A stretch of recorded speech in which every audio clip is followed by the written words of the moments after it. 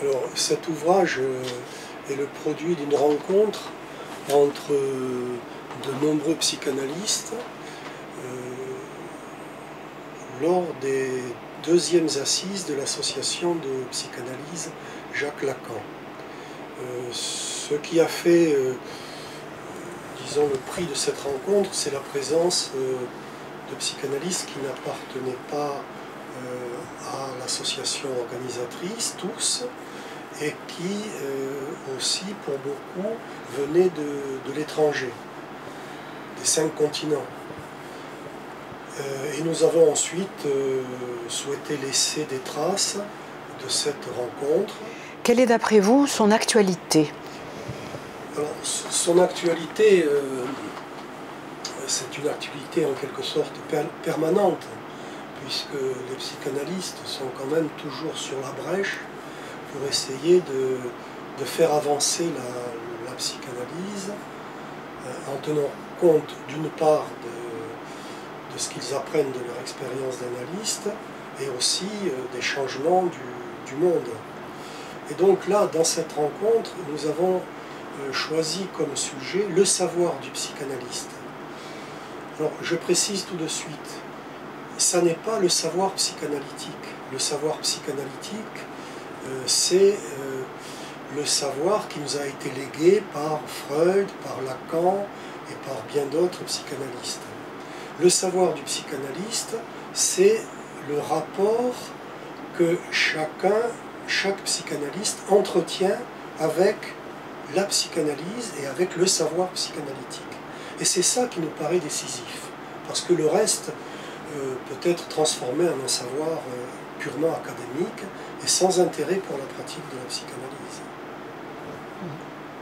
Au cours de ces journées, vous avez abordé différents thèmes Alors oui, nous avons en fait abordé trois thèmes qui sont tous les trois liés d'une certaine façon avec euh, cet intitulé central.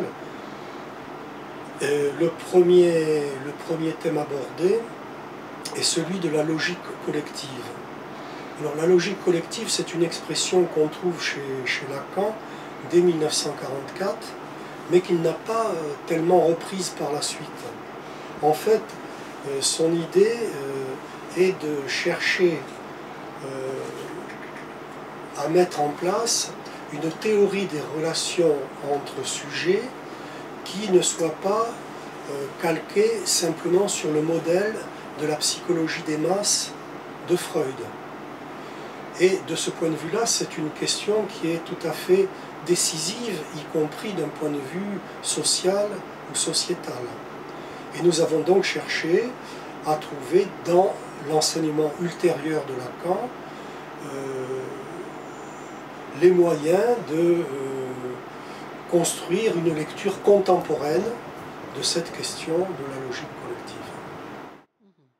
Ensuite, euh, nous avons abordé un thème, euh, disons, très spécifiquement euh, psychanalytique, puisque c'est un thème qui touche de très près au rêve, et que malgré tout, le, monde a changé après la parution de l'interprétation du rêve par Freud en 1900.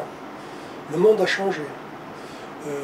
Alors, là, nous avons essayé de, mettre en rapport la théorie de Freud dont les enseignements ne sont pas encore tous euh, épuisés loin de là, à savoir euh, et mettre aussi en question l'idée qui est celle de Freud, ou plutôt qui est quelquefois celle des disciples de Freud, et ce qui crée un certain décalage à notre avis avec euh, la pensée de Freud, à savoir que le rêve serait la traduction d'une langue, ce que Freud appelle les pensées latentes, dans une autre langue, c'est-à-dire le récit du rêve, mais cette langue du rêve à proprement parler serait une langue cryptée à cause de l'intervention de la censure. Lacan se pose de façon un peu décalée par rapport à cette théorie, puisque on peut dire de la façon la plus simple possible qu'il se pose la question de savoir comment quelque chose qui n'est pas du langage, à savoir la jouissance, peut se transformer de façon privilégiée par le moyen du rêve en quelque chose de langagier, c'est-à-dire en quelque chose d'interprétable, parce que la jouissance n'est pas interprétable. Et donc, euh, il y a eu euh, tout un clavier d'intervention euh, pour essayer de rendre compte de cette avancée, disons, dans les théories du rêve depuis Freud, et notamment autour de, de la thèse Princeps de Lacan. Et ensuite, la troisième question abordée est celle des fins de cure, qui est évidemment une question tout à fait centrale pour les psychanalystes, parce que je crois que euh, on ne peut pas concevoir, avant d'avoir fait une expérience de psychanalyse, ce que peut être une fin satisfaisante de cure. C'est-à-dire on ne peut pas concevoir l'immense changement positif que cela peut apporter. Euh, et qui n'a rien de cosmétique, mais qui vraiment peut changer la vie du sujet qu'il a, euh, a faite, cette expérience. Alors, dans, les assises 1 de, la PJL, nous avions euh, focalisé les choses sur la passe, c'est-à-dire sur cette expérience inventée par Lacan pour mettre à l'épreuve le désir du psychanalyste. Là, nous avons plutôt centré sur la fin, que nous distinguons de la passe euh, pour essayer de savoir parmi les différentes théories concurrentes ou congruentes de, la fin, celles au pluriel qui nous paraissaient les plus adéquates, les plus appropriées. Pourriez-vous maintenant nous dire à qui s'adresse cet ouvrage? Ben, C'est simple, ça s'adresse, ça s'adresse à tout un chacun, à tout, tout être parlant, et même à tout être muet. Euh, bon, évidemment, ça s'adresse en priorité aux psychanalystes qui sont fort nombreux, en France, mais un peu partout aussi dans le monde, avec bien sûr des, inégalités. Euh, ça s'adresse aussi aux analysants, euh, et puis de façon beaucoup plus générale, ça s'adresse à tous ceux qui considèrent que la psychanalyse a changé le monde ou peut la changer a changé le monde de la pensée, mais aussi a changé le monde tout court. Donc, euh, euh, notre, notre ambition, ça serait, euh, à partir de ces assises, de tenir en quelque sorte des assises permanentes, c'est-à-dire pas d'arrêt dans, dans, la pensée de dans le travail de pensée permet de, faire avancer la psychanalyse. Et euh,